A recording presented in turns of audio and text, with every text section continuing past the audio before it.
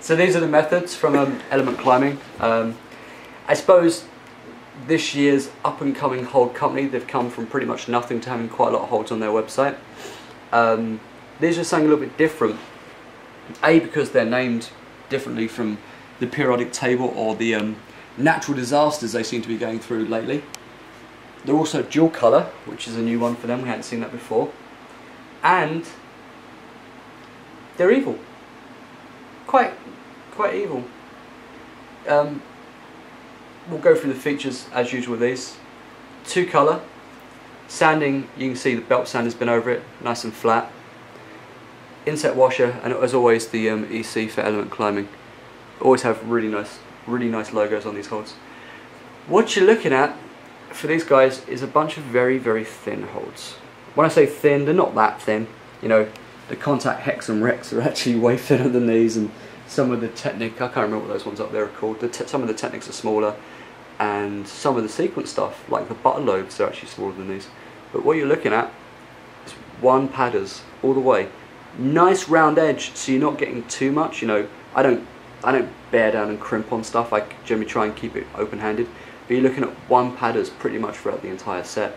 Um, like I said, which is new because generally their holds have been quite friendly. Um, they do well on the drop test. They bounce. One of their holds actually bounced when I was standing on the ladder and hit me in the knee. It bounced so well. It's more like a tennis ball than a urethane hold.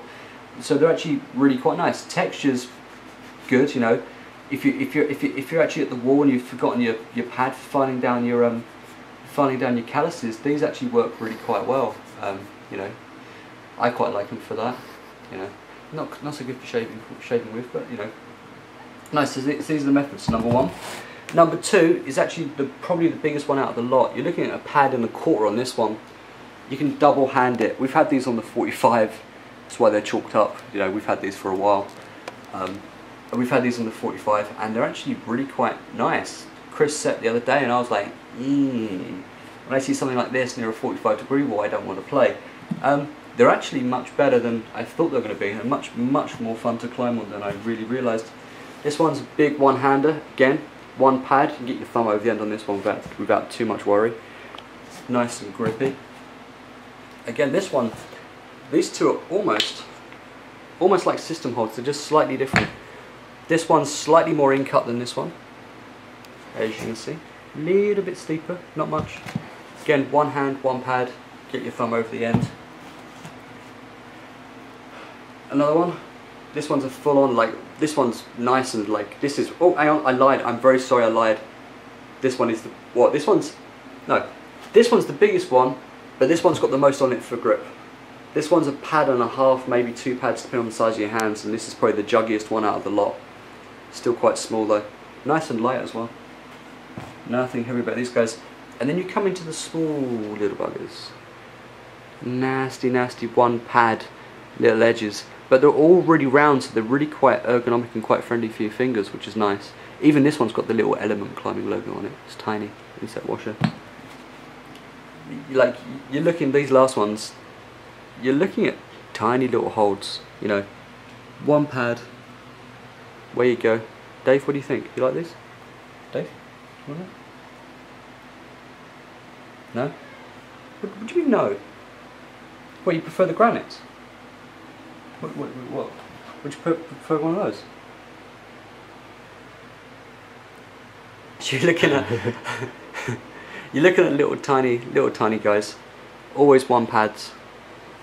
Little one pad, but look, one pad, but I can still get four fingers, and I could probably get my thumb on that if I really needed to. Same one with this. Like they're all like you know one pad, but you can always get your thumb over the end. And the last two, this is one of the last little tiny ones one pad, and yeah, you could get your thumb over the end if you want. Like it is like this. That's what it ends up like. You do. And then, oh thanks. You're the best. No, seriously. Dave, you're blowing my shot. Dave. Some loving. Okay. Yeah. Dave likes holds. This is, this is actually how we clean our holds. We don't have a cat for house cat purposes. We just like, you know, the chalk comes off pretty well. No right fella. Alright, where were we? He's actually the mastermind behind the site. I got nothing to do with it. It was his idea. He beats me. so the last one of the element holds. This guy here, one pad, not as round as the others, but you're looking at a one pad kink, and you can really get your fingers down on it. Um, overall, I actually quite like these. I was surprised. I saw them and was like, oh god, these are gonna be these are gonna be sucky, but they actually worked out to be really, really quite nice. Um, we'll see how they climb more. We've got some more filming to do and some more routes to set. So these are the methods from element climbing. Something different from those guys. It's always good to see.